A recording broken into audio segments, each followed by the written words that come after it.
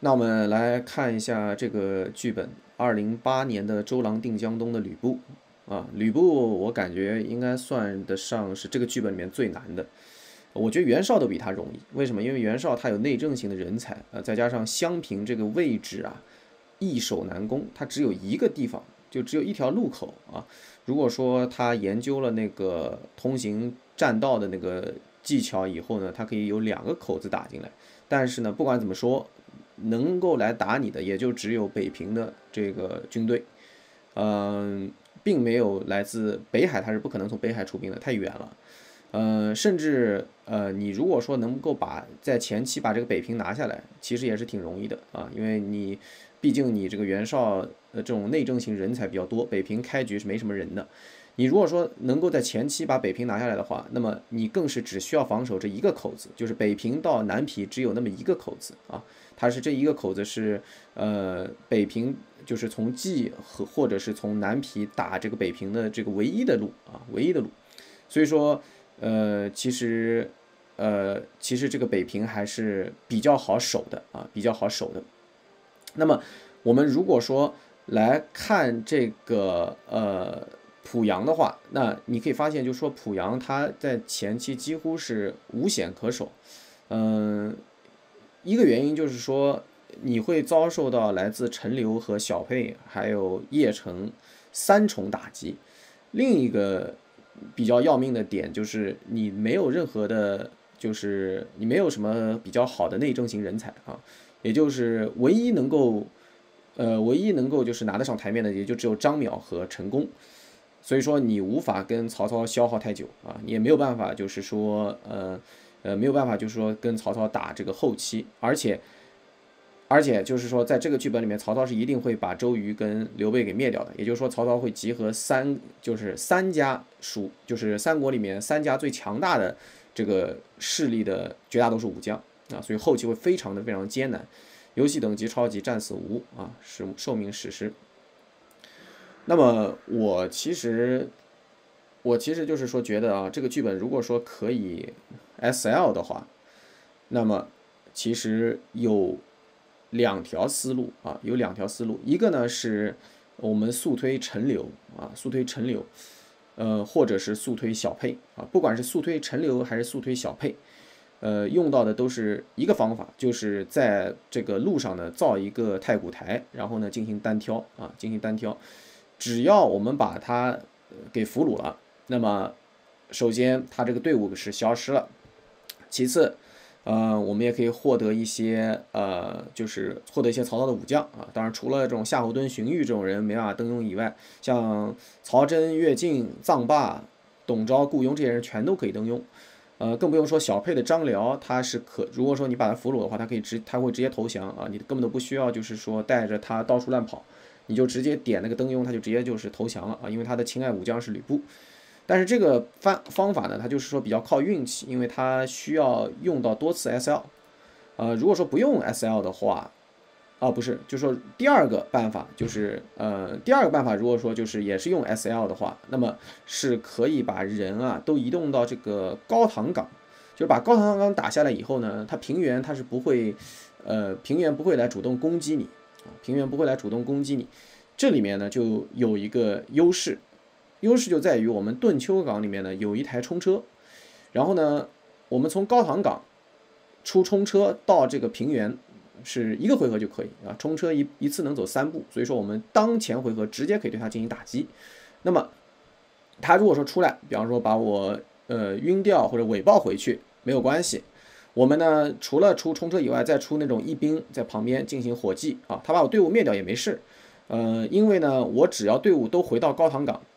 那么他的队伍也会回到平原，他不会就是来追击我这个高唐港的人，也就是说，我基本上可以在短短三四个月之内，短短三四个月之内，我就可以把这个呃平原给用冲车给拿下，呃，但是拿下平原以后呢，平原是守不住的啊，拿下平原以后呢，呃，如果说。就是运气好，这个时候曹操还没有从邺城出兵打我们的话，那我们是从平原直接出两支骑兵队伍，就是直接去打这个南皮。因为南皮的人呢，基本上没有任何，呃，没有任何厉害的武将所以说呢，你从这个地方出骑兵的话，只要三十天就可以到南皮。呃，粮草不够没有关系，我们在路上可以就是把他的军队给灭掉，然后呢把粮草给吸收进来。呃，打下南皮以后，有一个好处就是。拿下南皮以后，我们离我们自己的盟友这个共袁绍呢就又近了一步，也就是说，我们来自这个北平的压力会小很多啊。呃，如然后来自这个冀的压力呢，我们可以在这个地方就是呃造一个太古台，或者是造一个镇来把它给守住。然后呢，至于来自这个平原或者邺城方面的这个部队呢，其实也很简单，我们只要在这里给它造三个土垒，那么它就必须得绕道，绕道走下面，走下面的话就不止三十天了，走下面差不多要五六十天才能到，啊，走下面这条路，因为你看都是湿地，都是湿地，它就要走五六十天，走五六十天的话，那我们在这个位置就是造一个太古台，给它围而歼之，围而拒歼之就可以了啊。这个就是呃防守南皮的一个方法啊，但是南皮要注意，就是说我们最外面的这三块地啊，尽量不要造那种就是比方说三级市场或者是那种很重要的建筑，因为在这个地方造这种很重要的建筑的话，那它可以从水上打击到我们。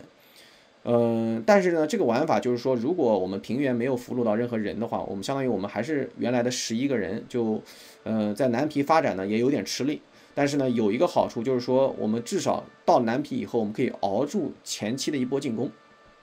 以上就是说两个我总结出来的，就是，嗯，就是说用 S L 的时候可以，呃，可以就是说打开局面的一个方法。嗯，其另外，如果说不用 S L 的话，如果说不用 S L 的话，那我能想到的就是唯一的一个打法，唯一的一个打法就是结盟，结盟啊。呃，结盟呢，实际上它也比较困难，因为我们开局的话钱太少了，然后我们又是跟曹操是险恶的这个外交状态，所以说，呃，要结盟的话需要亲善非常非常多的次数。嗯，我开局的打法呢，我就是说直接把这个吕布啊，我给他派一个义兵的队伍，就是我给他派一个义兵的队伍去骚扰。骚扰这个陈留和这个寿春啊，这个是必须要做的。嗯，然后呢，我我开始造这个黑市啊，我就直接造黑市，我其他什么都不造，因为濮阳我们肯定就是我们如果造市场的话太慢了啊，造市场太慢了，而且钱花的也太多了啊。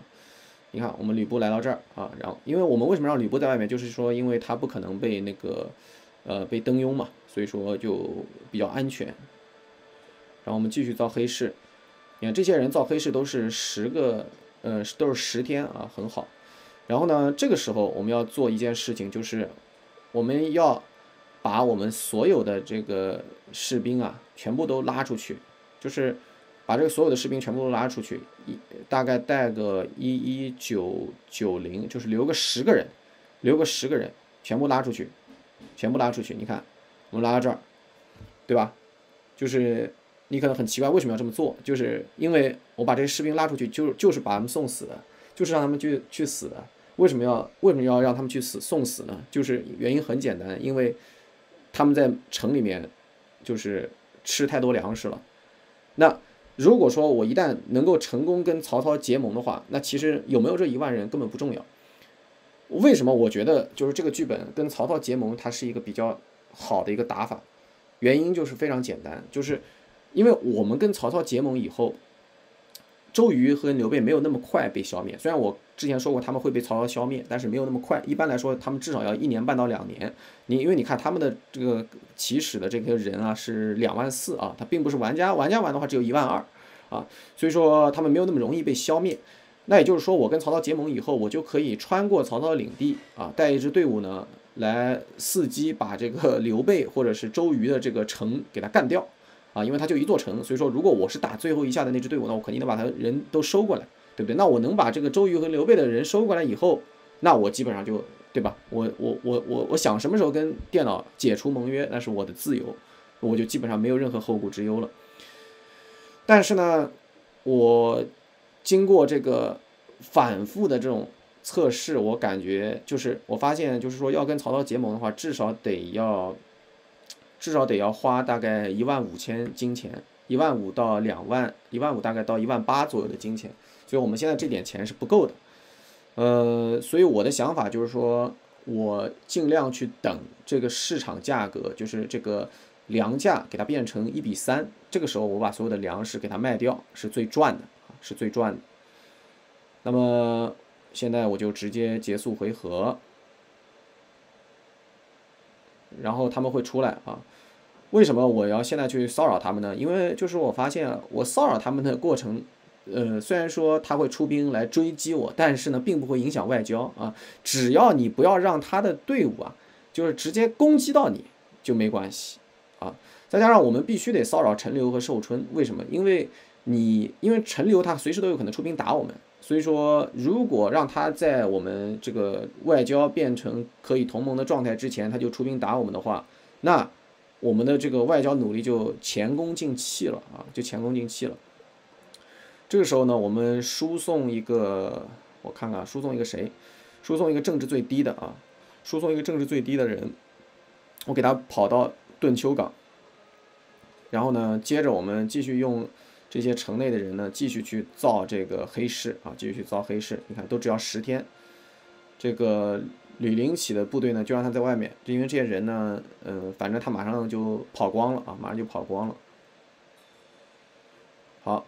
然后我们移动到这儿，对吧？移动到这儿以后，那他就又得回去了，对不对？他又得回去了，并且寿春这边人也会出来啊。吕林起呢，我们继续让他在这儿待命。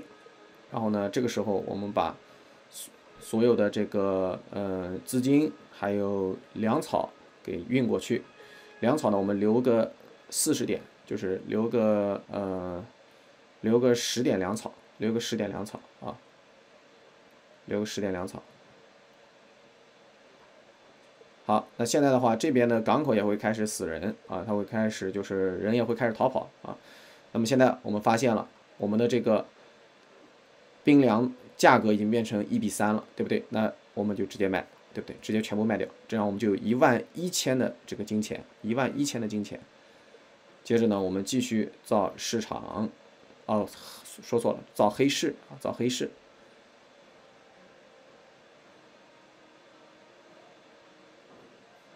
啊，他们这边都断粮了啊，这就是我要的一个效果。我要的效果就是让他们全部断粮啊，我要的这就是我要的效果。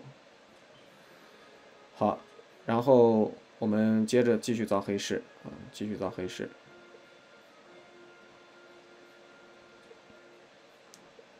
这个时候呢，我们也可以在这边花二十天去造一个黑市啊，只要不要是超过三十天，其实都是可以的啊，都是可以的。最后留一个位置造那个外交府就可以了，留一个位置造外交府。我们到这个位置，然后我们继续造黑市。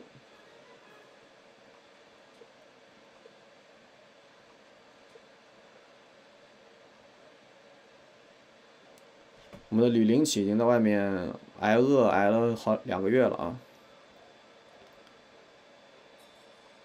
我们把它调到这里，我是想看看，就是说有没有办法把小沛的这个人给他引出来啊？有没有办法把小沛的人给他引出来？如果能把小沛的人引出来，那就最好。我们现在造一个外交府，然后呢，再继续造黑市，三十天不要去造啊，不要去造。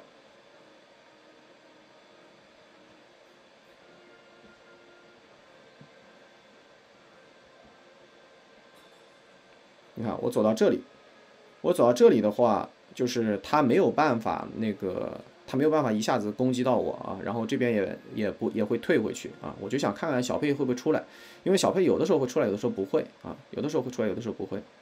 我们继续造黑市，那么下一个回合我们就可以开始，呃，大量的叫啥？我们就可以开始大量的那个呃呃进行外交的攻势了啊。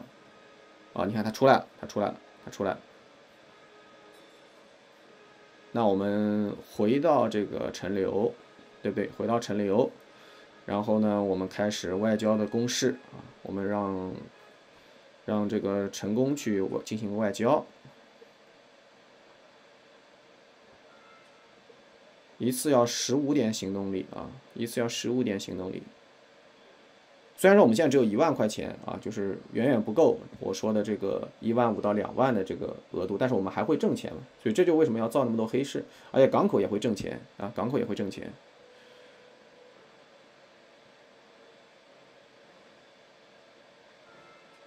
我们继续，继续跟他这个清善啊。亲善到这个呃友好，其实就可以呃，其实就可以那个进行这个叫什么？进行同盟的操作了。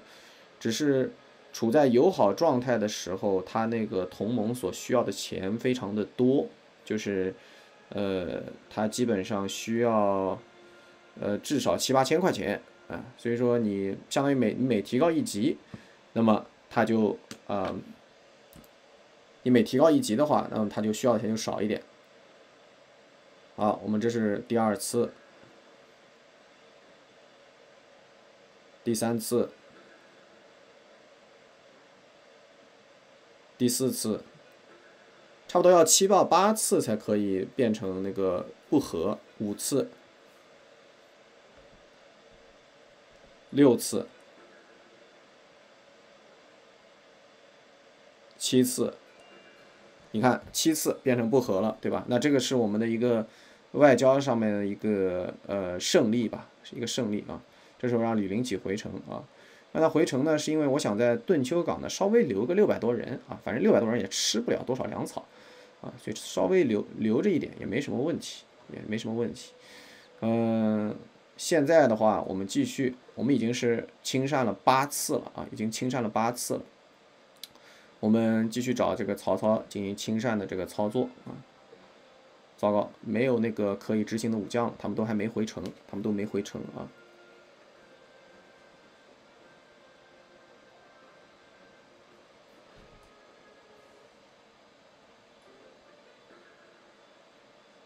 九次了已经啊，现在还是一比三的这个呃比例啊，那我们可以把这些资金给它运回去。呃，但是我们呃不要就是我给他留个留这么一点粮草好了，对，将其令其返回顿丘港，然后我们商人留个我看看啊，留个一点点就行了啊，留一点点这个粮草就可以。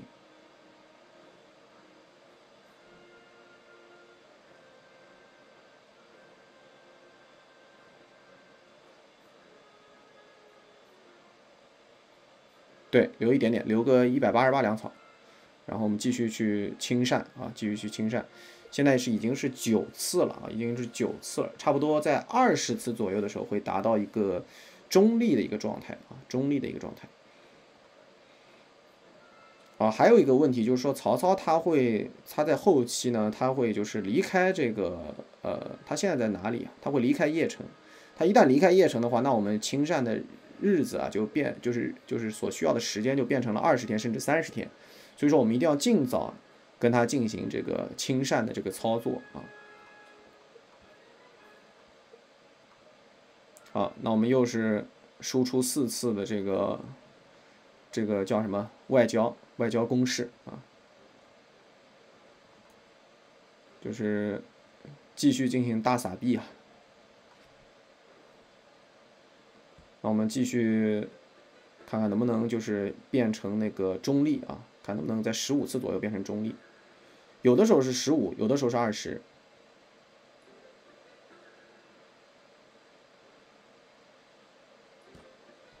好，现在是十四次，还是没有任何的呃，就是任何改善的这个迹象啊。那我们就继续清善。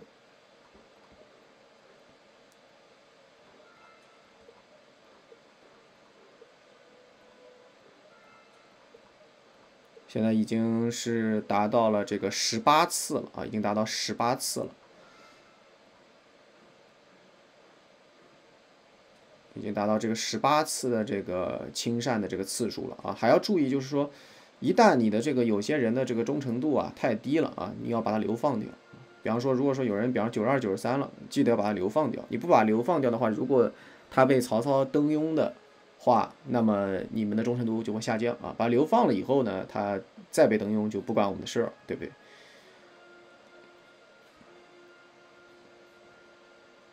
就说现在的话，加上我们已经派出去四次，已经达到十八次啊。我感觉应该是可以这个呃，应该是可以达到这个中立了啊。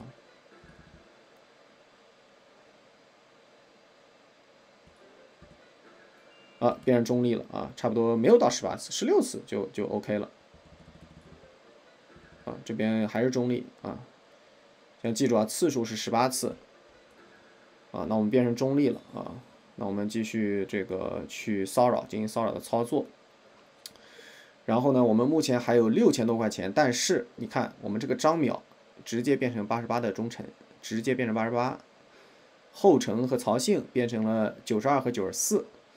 那么我们六千五的话，还能还能坚持个十次左右啊，十次的话就是二十八，其实够的啊，我可以给他包赏一下，我可以给他包赏一下，但是我只包赏这三个啊，只包赏这三个，就是八十八、九十二和九十四的啊，对，可以给他包赏一下，不差这三百块钱，不差这三百块钱，我继续去呃清善。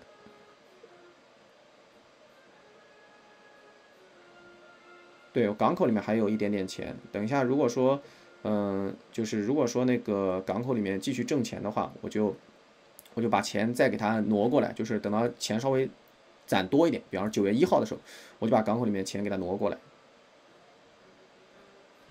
现在是十八次啊，现在十八次，现在十九次啊。如果说不出意外的话，二十五次左右可以变成友好。二十次了已经。但是他又给我释放留言啊，又给我释放留言，那你看我们的这个，嗯，这些人的这个忠诚度又降低了一次，对不对？那我们把这个张淼再给他包上一次，是吧？九十五的我就不管了，然后其他的呢，我就继续去清善啊，继续去清善。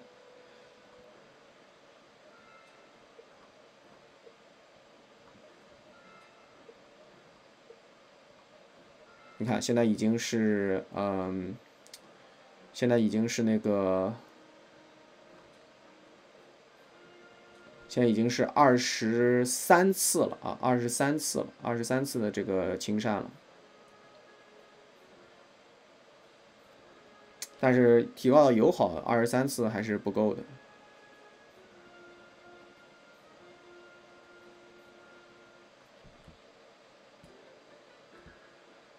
二十一次。二十二，二十三，啊，还是没有提高到友好，而且光刚刚刚提高到友好的话，也是没有办法就是进行同盟的啊。刚刚提高到友好的话是没有办法进行同盟的，一定要就是说，嗯，再再升几次，因为你刚刚提升到友好的话，它是哪怕一万金钱都没有办法同盟。然后要注意啊，不能让他打到啊，所以说这个地方要非常小心啊，我们。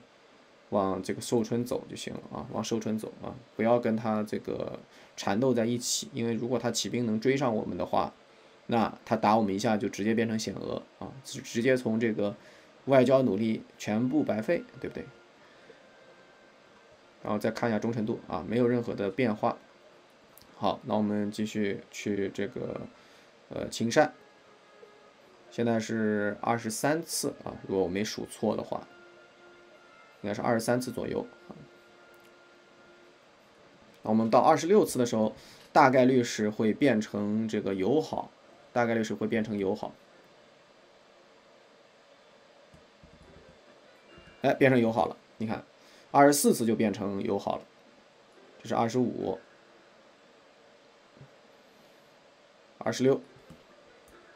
好，变成友好以后要注意啊，就是千万不要等到他一个月的月初你去跟他结盟，尤其是换季的时候，十月一号是换季的时候，如果等到十月一号换季，很有可能你们的外交关系会下降，会降级。一旦降级的话，那你的这个努力又白费了。那我们现在看看啊，如果说现在去同盟的话，能不能成功啊？就比方说，我现在就是直接去选择去同盟，给他，比方说。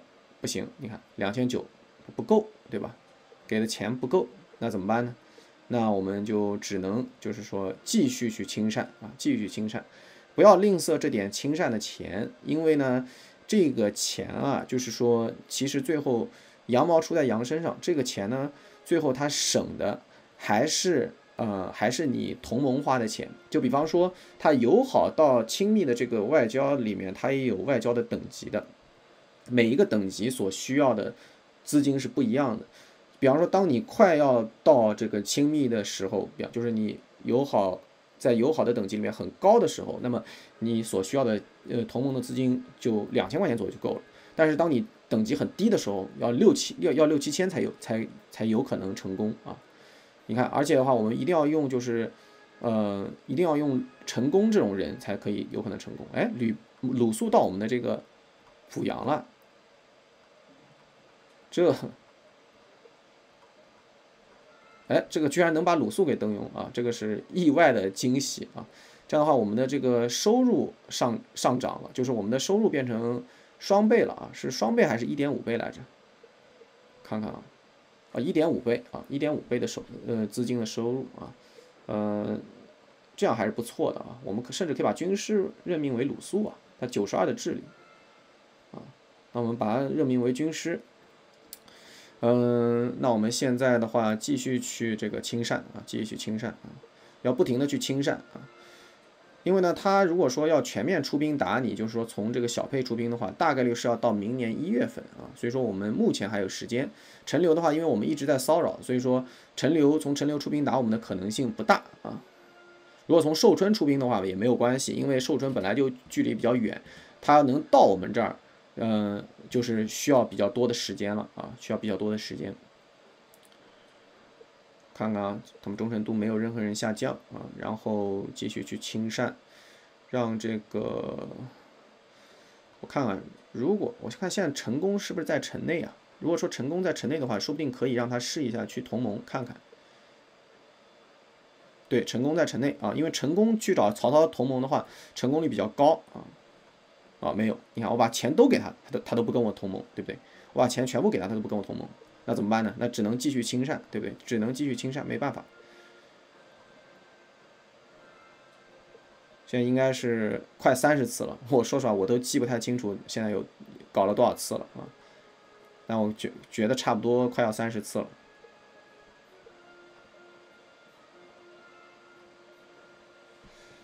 一般来说，二十八次、二十七、二十八次就差不多亲密了啊，就差不多亲密了。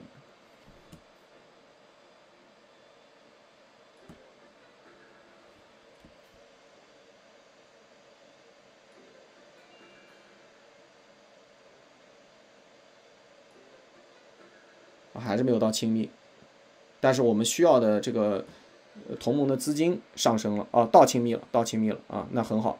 那现在的话，我们去找他同盟就比较容易，嗯，但是呢，也需要至少一千多的资金啊，因为他好像最低是一千多啊，最低是一千多，所以呢，还是我们还是必须得就是继续去呃赚钱啊，继续去赚钱。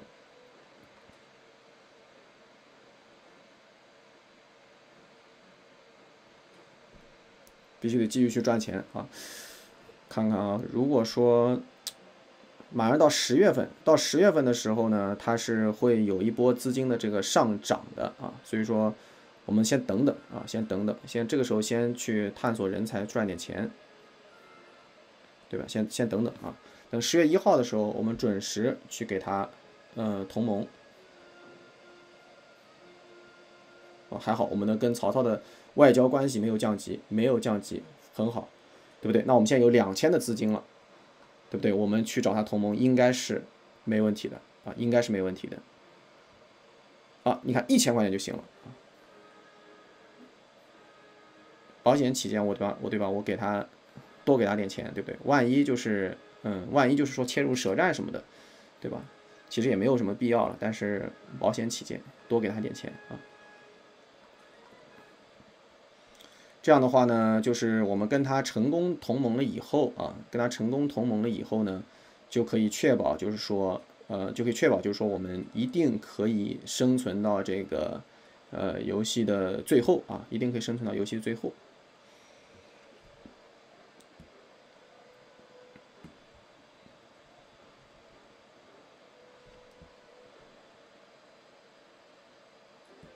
好你看我们成功缔结为同盟了啊。那这个时候呢，嗯，我们需要做的呢，其实就很简单，就是派一支队伍过来这个蹲坑，蹲坑这个，呃，蹲坑这个周瑜啊。我们得立刻开始造一个兵营，或者是怎么样了。现在因为我们已经不缺钱了啊，已经不缺钱了。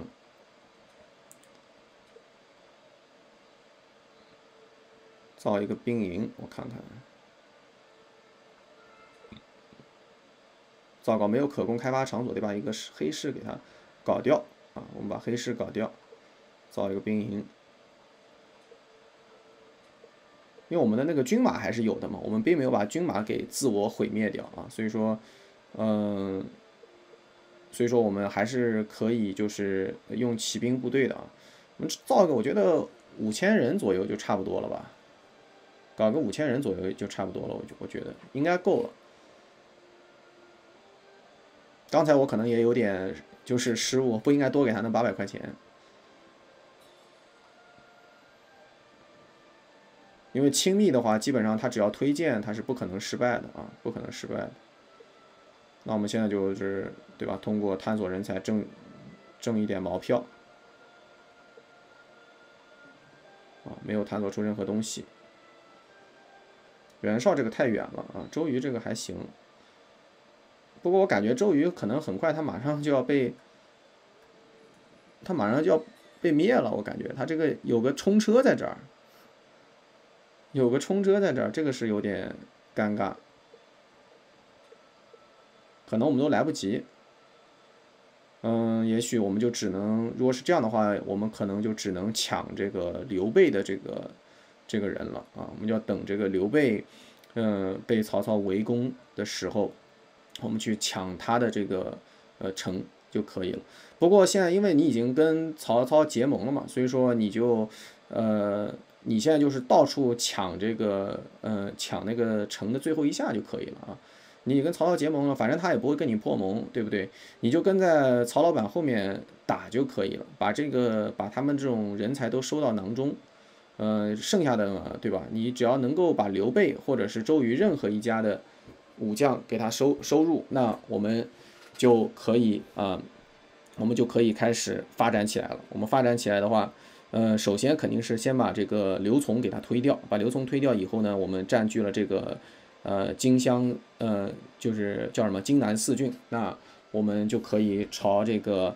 呃，朝这个西川发展啊，甚至是你也可以在合适的时机啊，如果说你收集到人才足够多的话，可以在合适的时机跟这个曹操破盟啊。嗯，那我们就是这样的视频就做到这里啊，我们今天这个视频就做到这里，然后呃，我们下期再见啊，谢谢观看。